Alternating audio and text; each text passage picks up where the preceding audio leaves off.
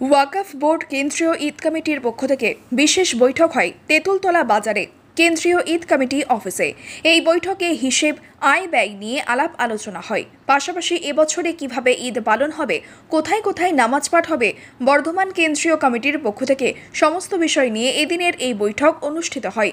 জানা যায়, প্রতি বছরই সকাল নটা থেকে নামাজ পাঠ হয়ে থাকে বর্ধমানের টাউন হলে। এবার এই প্রচণ্ড গরমের দাপটে সময়সীমা তিরিশ মিনিট কমিয়ে দিয়ে সকাল সাড়ে আটটা থেকে হবে নামাজ পাঠ।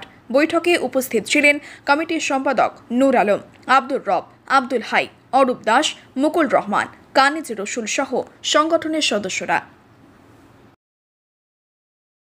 বর্তমান কেন্দ্রীয় ঈদ কমিটির সাধারণ সভা অনুষ্ঠিত হলো।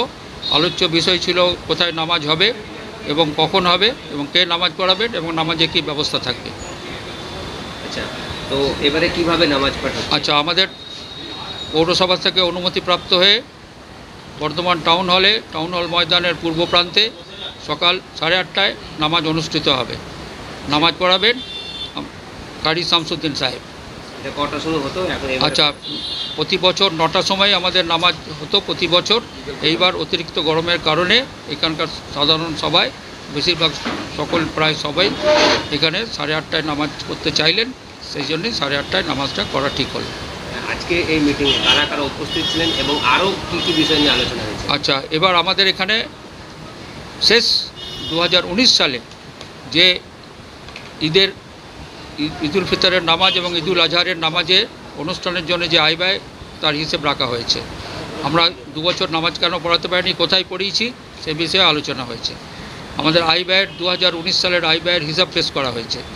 আর আমাদের কীভাবে কি প্রচার করা হবে, সে নিয়ে আলোচনা করা হয়েছে। এখানে আমাদের টাউন হলে আমাদের উপস্থিত থাকবেন বলেছেন আমাদের একত্রিশ নম্বর ওয়ার্ডের কাউন্সিলর শ্রী অরূপ দাস মহাশয়, আমাদের আঠাশ নম্বর ওয়ার্ডের যিনি কাউন্সিলর আছেন ডক্টর ইন্তাকা আলম তিনি আমাদের উপস্থিত থাকেন এবারও থাকবেন আর আমাদের এই তৃণমূলের বিশিষ্ট নেতা আব্দুর রব ভাই তিনিও উপস্থিত থাকবেন।